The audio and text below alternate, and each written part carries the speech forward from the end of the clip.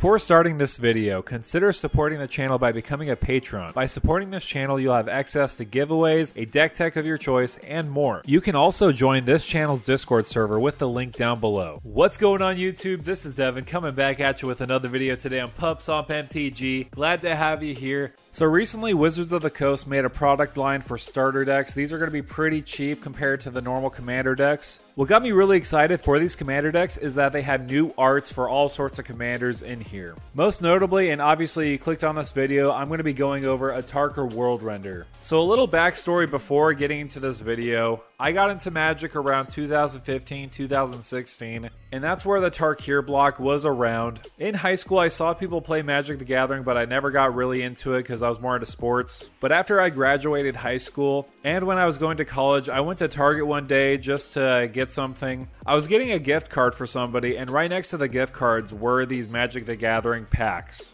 I distinctly remember seeing three packs with a front facing card on it. It was Atarka World Render. Growing up, I absolutely loved fantasy, like watching The Hobbit or watching Game of Thrones, so seeing this art on here was absolutely breathtaking and something I never really noticed before in my life. So I would say little by little, I got into Magic the Gathering here and there, going to some events here and there, and I absolutely had a blast and enjoyed a lot of it. And obviously, later on, making this YouTube channel, as you can see. So I definitely have a big soft spot for Atarka World Render, but what does it read? It has Flying and Trample, and whenever a dragon you control's attacks, it gains double strike until end of turn.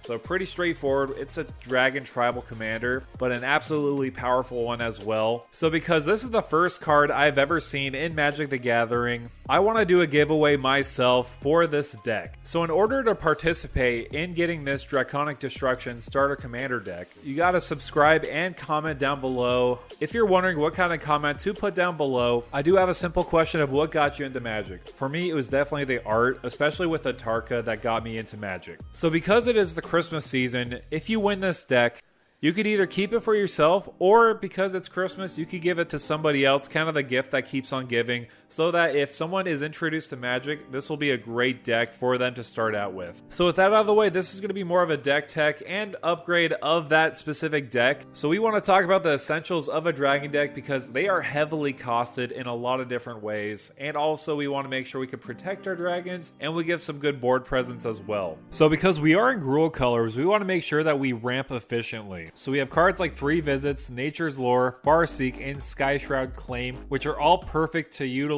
that ramp. Plus, what I would say would be the best factor of having these compared to other ramp spells is the fact that they search for non-basic lands. For example, for Three Visits, you can search for a forest card, so that means any kind of forest as long as there's a forest in there. You could even search for a Triome if you really wanted to, but most likely we're going to be searching for Stomping Ground because it does have that dual typing of mountain and forest. Not only do we want to focus on ramping, we want to make sure that we protect what we ramp for. Because we ramped heavy into dragons, we want to make sure we protect them because it always sucks whenever someone has like a two mana removal spell for an eight cost dragon. So in order to protect our dragons, we can use a card like Tamiyo's Safekeeping and Heroic Intervention. They're essentially the same, giving your permanent or permanents hexproof and indestructible. I honestly do find it hard to believe that Tamiyo's Safekeeping is a common. Also another part of having a awesome dragon deck is having removal, especially mass removal like board wipes. Because it'll take a long time for our dragons to enter the battlefield, we want to make sure the board is clear so that we could take to the skies. Klauth's Will will definitely get us there as it deals X damage to each creature without flying or destroy up to X target artifacts or enchantments. And if you control your commander, you get to do both, so that's a win right there. Also, the more creatures your opponent have, the better Blasphemous Act will be because it'll deal 13 damage to each creature. Absolutely great board wipe in here. Absolute all-star. So these essentials are really great and all, but we want to make sure we get to draw them by getting a lot of card draw. Garruk's Uprising is absolutely fantastic in this because not only does it give you card draw equal to the greatest power among non-human creatures you control, it also does give you an overrun effect. If you have a lot of dragons on the field, you might as well swing in for a lot of damage there as a game ender. Another similar card to bring up is Rishkar's Expertise. You draw cards equal to the greatest power among creatures you control, so same exact thing as Return of the Wild Speaker, but it also does have a great stipulation of you may cast a spell with a mana value 5 or less from your hand without paying its mana cost. So after you draw all those cards, you get to put a free thing onto the battlefield as well. Another great one-time use card draw spell Uh, would be Hunter's Insight.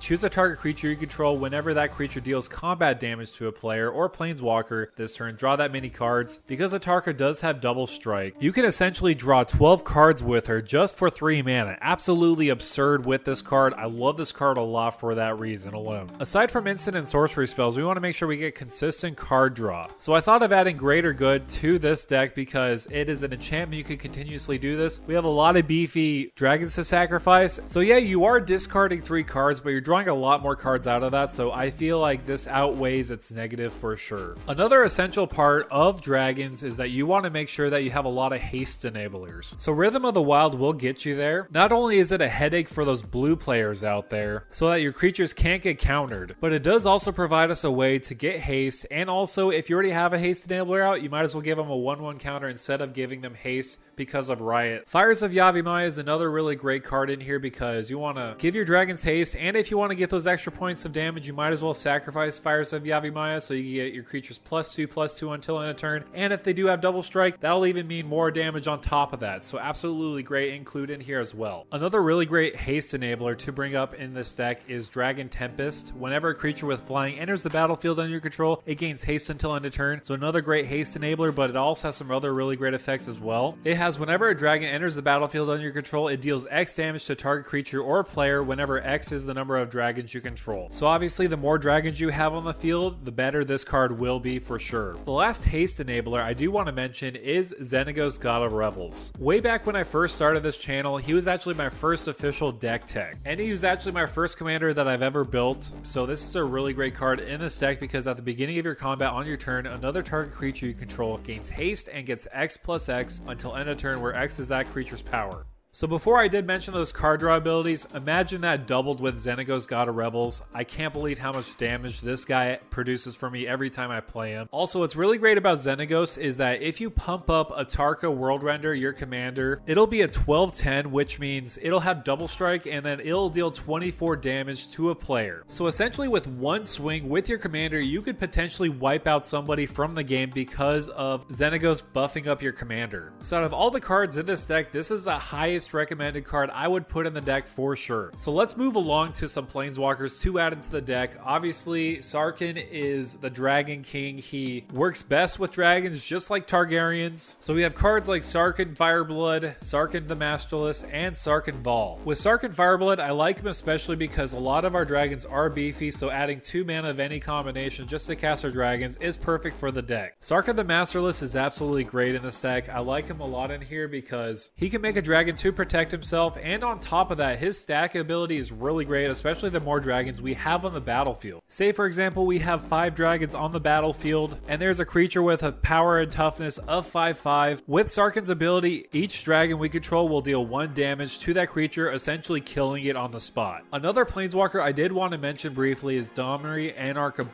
He acts as an anthem, giving our creatures plus one plus zero, and being a mana dork, and our creature spells can't be countered as well, also providing a way to remove creatures from the board as long as our dragons are bigger than their creatures. So you're probably thinking to yourself, where are all the dragons? I talked about all these other stuff like the fluff of the deck, but where are the actual dragons I want to add into the deck? So your patience was rewarded, and now I'm going to talk about some of the dragons you should have in the deck. Because Atarka grants all dragons we control double strike, we want to make sure we have a lot of dragons on the battlefield. That means we want to go wide with tokens. A big and nasty dragon that I've seen take over games multiple times is Utvara Hellkite. The more dragons you swing with this guy, the more dragons you're going to produce. So say for example, you swing in with five dragons, that means you're going to get an additional six, six red dragon creature tokens on the battlefield as well, which is absolutely absurd. So the multiplier effect with this card is absolutely insane in my opinion. I also did want to mention Lathliss Dragon Queen as well. Whenever a non-token dragon enters the battlefield under your control, create a 5-5 red dragon creature token with flying. Also giving a nice pump to our dragons as well is perfect because the more power we do have for our dragons, the more double strike damage we will have for Atarka. I thought I would also mention Dragon Broodmother as well because at the beginning of each, yeah again, that's right, each upkeep put one 1-1 red and green dragon creature token with flying and Devour 2 in play. So of course we're trying to enhance our board more with dragons, so I think that's a great option as well. I also do want to provide you some dragons that absolutely hold your opponents hostage. Hellkite Tyrant is fantastic in this deck because whenever whenever it deals combat damage to a player, you get to gain control of all artifacts that player controls, and it does have a game winning condition. If you have 20 or more artifacts, you win the game. Even if you took out that game winning ability, I just love taking people's mana rocks because we have a heavy costed deck with a lot of big dragons, so taking their mana rocks will help us in the end game for sure. I also thought of adding Klauth Unrivaled Ancient because it acts as a great mana ritual ability. The more power we swing with, the more mana we are going to get to cast our spells. If you do want another way of card draw, we do have Nullspine Dragon. When it comes into play, you may discard your hand and draw cards equal to the damage dealt to target opponent this turn. So very similar to Hunter's Insight, but we get a body on top of that. But we get to potentially get a lot of card draw off this card the more dragons we swing with and deal damage with. Another insane dragon to add to the list would be Scourge of the Throne. It'll grant us an additional combat phase, which is absolutely fantastic in this deck because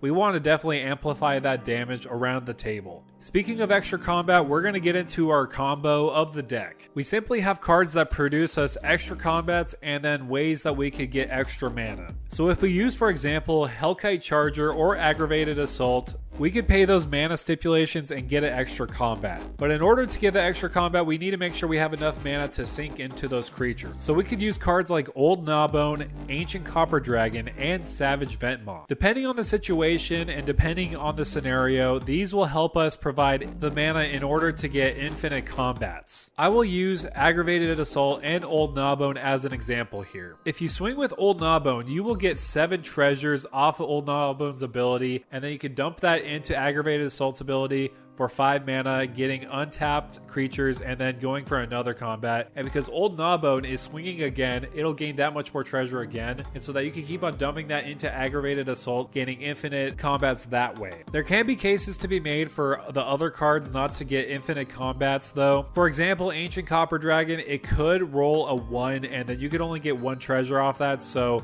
that is a warning right there. Also with Savage Ventmaw, say for example you want to dump that mana into Hellkite Charger, you only get the allotted combats allowed as long as you have enough mana to provide for that. So just to forewarn you right there, I just want to make sure this is pretty clear, but let me know down below what your thoughts are about Atarka World Render. I know this commander is pretty old, but I find it really fun to play every time that I helm her as my commander. So again, I want to thank you guys so much for coming by and watching this video. Sorry it's a little longer video. I just had to mention the giveaway because I do want to give one lucky viewer a chance to win that starter deck so that they can either keep it for himself or give it to another person as a gift. So to be entered, make sure to like, share, and subscribe, and definitely put a comment down below. So with that out of the way, thank you for stopping by.